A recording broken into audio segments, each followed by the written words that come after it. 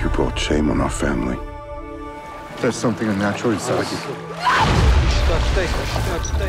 Your family says you grapple with the demon. If there's a demon in me, it's always been there. There are no demons here. Mary of Magdala. She will do God's will. Why shouldn't she follow me?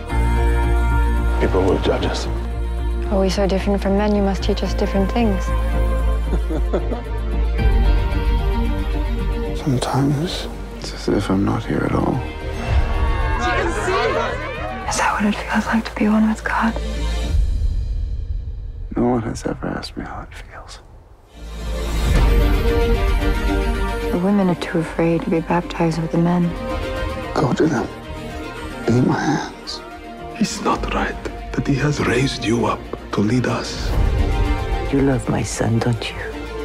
You must prepare yourself like me For what? to lose him.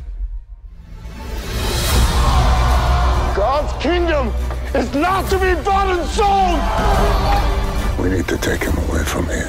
Whatever happens now, it's what God has asked of him. Mary, you are my witness.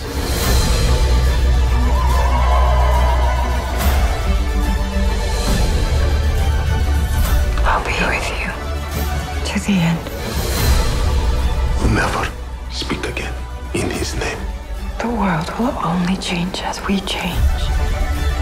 I will not be silent. I will be heard.